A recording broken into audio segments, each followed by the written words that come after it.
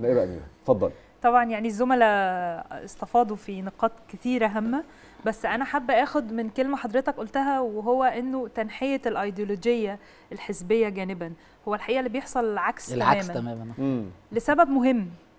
إن لم يحدث هذا فإحنا بننفي الغرض أصلا من اجتماعنا في في مظلة واحدة وهو إنه إنه أنا محتاج أعرف كويس الأيديولوجيات المختلفة. ده بيزيد أو بينعكس على ايديولوجيتي أنا بشكل ثابت أكتر وده بنعكسه في الصالونات اللي بتبقى جايبة الأطياف المختلفة في المناظرات حديثا. يعني الفكرة كلها إنه كيف تحاجج الآخر صح. بناء على منطق مظبوط. ومنطق رشيد. مم. أنا اشتغلت في مش المجتمع المدني. يعني أو أفكار مسبقة. اشتغلت في المجتمع المدني واشتغلت في آه، القطاع الخاص. اشتغلت في وظائف كتيرة قبل ما أكون موجودة آه، عضو في البرلمان. الشاهد من الأمر أنه السياسات هي الباب الرئيسي للإصلاح السياسي والإصلاح السياسي مرتبط ارتباط وثيق جدا بالإصلاح المجتمعي وبال وبالإصلاح بشكله العام. يعني لو بتكلم النهارده على سياسات تعليم أو صحة حاجة تمس كل بيت مصري حاجة تمس كل مواطن يحمل جنسية هذه البلاد. إيه اللي يدينا الضمانة الحقيقية إننا نوصل. لسياسات أفضل؟ إنه يكون عند حضرتك سياسيين قادرين على إنهم يس- يستوعبوا ده مؤهلين بشكل كفاية قيادات جوه أحزابهم يمثلون ايديولوجياتهم بشكل جاد. يعني إذا التنسيقية نجحت في شيء أنا نائب رئيس الحزب المصري الديمقراطي الاجتماعي. أزعم إنه الفترة يمكن ال- اللي كانت قبل انتخابات الحزب بتاعتي اللي قضيتها في التنسيقية هي جنب الخبرات السياسية كمان نقلت لي الكثير قوي من الخبرات الشخصية.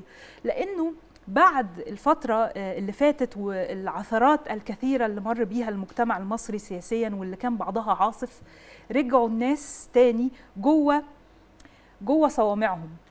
وبقى في مشكلة في التواصل الجاد بتكلم تحديدا على مستوى السياسات. وبقى في تعصب أكتر للفكرة أو للرأي. مم. إيه المطلوب علشان نعرف نرجع نتكلم مع بعض تاني؟ هو إرساء حالة الحوار. وبشير صح. هنا بعد ليه؟ فترة انقسام حادة في المجتمع هي دي. الفكرة مش بس السياسيين آه، ما بقاش حتى في مقدرة آه، على إنه أسمع أسمع مش بقول لحضرتك أسمع رأي مخالف أسمع يعني رأي مخالف وأقدر أفنده ويبقى عندي حجة رشيدة وأنا برد عليه مظبوط. وده مهم قوي لأنه مفتقر إليه يعني لوقت طويل جدا وخمس سنين في عمر زي ما حضرتك يمكن ذكرت في عمر التجارب السياسية يعني ولا حاجة يعني إحنا آه، طبعاً. بنقول آه، حرف الباء في بسم الله ف ف ف فالنهارده علشان يكون عندي على الأقل أقول لك على حاجة أنا ما كنتش متوقعة إنه وأنا داخلة التنسيقية ده أنا كنت يعني أنت عارف اللي بيبقى جاي يمكن من ايديولوجيه مختلفة شوية بيبقى متحسب إنه متوجس خيفة. متوجس خيفة ده حقيقي إنه إنه الرأي الآخر طب طبعاً. هيعمل الأغلبية هتعمل فيا إيه؟ بما إني الأقلية. يعني فلا بالعكس يمكن كان في بنى حقيقي لفكرة آه، عرضي أنا للي ما أؤمن به والأفكار حزبي ووقت طويل جدا جدا هذه ال- النقاشات يمكن.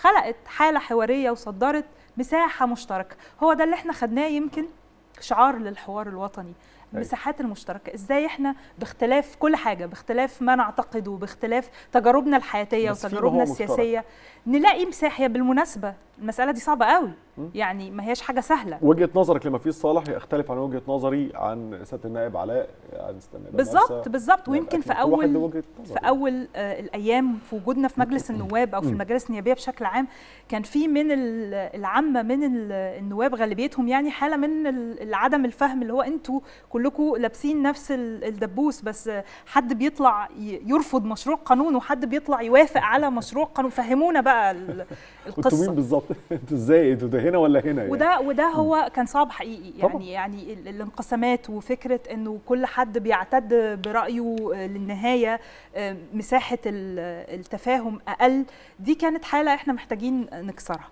التجربة ليها إيجابيات كتيرة جدا ليها سلبيات طول الوقت بنحاول إن إحنا نحسنها ونسمع آه، آراء الآخرين بس في مجملها الحقيقة أو إن إحنا حتى النهارده واقفين في الحوار الوطني بعد سنة من انطلاقه في منصة حوارية حقيقية يعني أنا يوم افتتاح الحوار الوطني أنا شفت في القاعة مصر بشكل ما أو. بآخر. شفت آه، انعكاس للخيط السياسي والخيط المجتمع يعني لكل الأطياف حتى النقابات. كانت موجودة حتى آه، ال- ال- يعني النماذج البارزة في المجتمع المدني كل المكونات صح. اللي بتخلق مفرج عنهم حديثا من ود- ودي من المحبوسين أهم الحاجات كانوا موجودين. بالمناسبة. أسماء ما كناش نتخيل إن هم يكونوا موجودة وكانوا غايبين أنا عايز كانوا أتكلم عن موجودين. ده. كله. أنا هتكلم إزاي غير لو أنا ضامن إنه حريتي وأمني موجودين؟ دي كمان 100% دي كمان شيء مؤسس جدا لنجاح ال- الحالة الحوارية دي أو لأننا فعلا نكون بنتقدم في مسار الإصلاح السياسي بخطى واثقة. أنا سعيدة إنه بقى في حركة لل- للشباب. طبعا هي قليلة قوي. أنا لسه مش سعيدة خالص بوجود الشباب في الحياة السياسية في مصر. يعني أنا أنا تجربة التنسيقية مقدرة للغاية. شجعت شباب كتير إنهم يرجعوا يدوروا على أحزاب. يعني أنا بيجي لي رسائل كتير جدا وبيجي الحزب يمكن من شباب رسائل إنه طب هو آه، أنتوا أفكاركم إيه؟ برنامجكم إيه؟ عايزين ننضم و- وبيبقى بعضهم عايز انضم مباشرة لل- للتنسيقية يعني التجربة دي شجعت وفتحت شهية شباب كتير إنهم يبقوا موجودين من خلال قنوات حزبية ده. مكسب في حد ذاته طبعاً. مثمن للغاية لأنه حالة الأحزاب كنا بنقول بقالنا من كام سنة كنا بنقول عزوف الشباب. عن المشاركة في الحياة السياسية هو فين الشباب فين الشباب لا نافذة لوجود الشباب نافذه مشينا خطوة بس لسه لسه طريق أكيد. طويل لا طبعاً. جدا لأنه طبعاً. هذا المجتمع قوامه مجتمع شاب. ش- قوامه طبعاً. الشباب مجتمع و- شاب. وحركة ال- الشاب اللي بيبقى موجود في البيت بيحرك ال- الأب والأم وبيخلق الحالة وهو اللي موجود في الوعي. الجامعة وهو اللي بيشتغل ف- فهو بيخلق آه، الرأي العام جوه ال- الأسرة يعني فالحقيقة إنه يكون في رغبة تاني في المشاركة في الشأن العام وحتى أعمار الشباب يمكن اللي بشوفهم أو في تمثيل جيد جدا للشباب في الحوار الوطني دي حاجة مبشرة وهامة علشان نرجع تاني نشوف الشباب موجود في الشأن العام مهتم ليه صوت ليه صوت يترتب عليها إنه يبقى ممثل في السياسات التي تصنع واللي أنا بشوفها دايما الأصل في إصلاح كل الأمور. عظيم عظيم. أحيي حضرتك. طيب